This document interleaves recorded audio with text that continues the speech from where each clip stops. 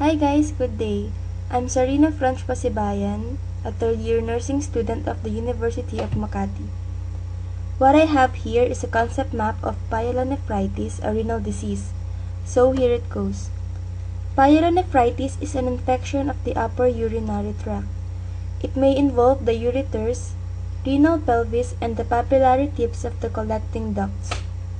Unchecked, it can extend into the tubules of the nephron, creating a potential for renal failure.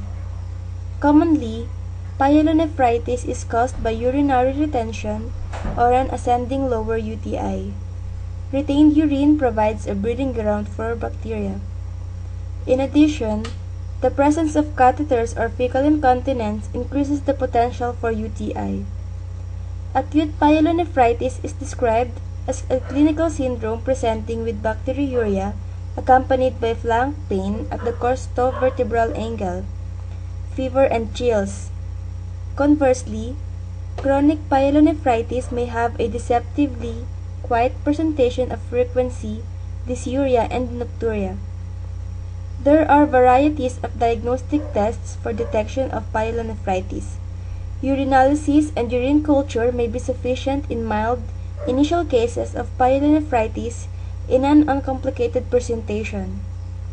UTI is an infection involving the kidneys, ureters, bladder, and urethra.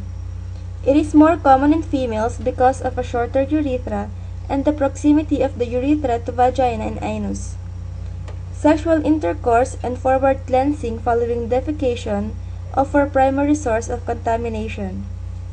The epithelium of the kidneys, ureter and bladder is sterile in the healthy individual. An infection occurs when bacteria enters the urine and begin to grow. The infection usually starts at the opening of the urethra where the urine is ex excreted from the body and moves upward into the bladder where they can grow and cause an infection. If they reach the kidney, they can cause a kidney infection called pyelonephritis which can become a serious condition if not treated promptly. The symptoms that can be seen in UTI include lower abdominal pain, dysuria, and fever. Urinalysis is done to confirm UTI. Collection of urine is appropriate at any time of the day. The first void of the day provides the optimal specimen. Send it to the laboratory within one hour of the void. Interstitial cystitis is often confused with UTI as presenting symptoms are markedly similar. It is also manifested by dysuria and pain in the suprapubic region. Urinary retention develops when the duct that drains the bladder becomes blocked. Acute urinary retention may be caused by stones lodged in the urethra or urethral strictures. It always presents with acute onset pain of intolerable severity. Urinary retention always requires medical attention for treatment, symptom relief, and detection of the underlying cause.